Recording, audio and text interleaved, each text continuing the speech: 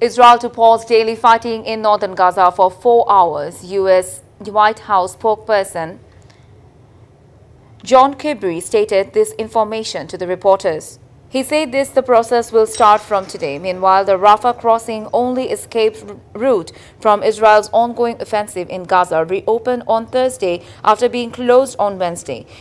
নগদ পেমেন্টে কেনাকাটায় জিতুন আইফোন ফিফটি সাথে instant cashback Egypt controls the Rafah border crossing. It is the only way into or out of Gaza which is not under Israeli control. An estimated 7,000 people with foreign passports, dual citizens and their families as well as others who need medical treatment are leaving Gaza through Rafah crossing. In addition to the people leaving Gaza, humanitarian aid has also entered Gaza. 106 trucks of food, medicine and water entered Gaza on Wednesday. Since October 21st, 756 trucks of aid have been entered in Gaza as stated by the United Nations.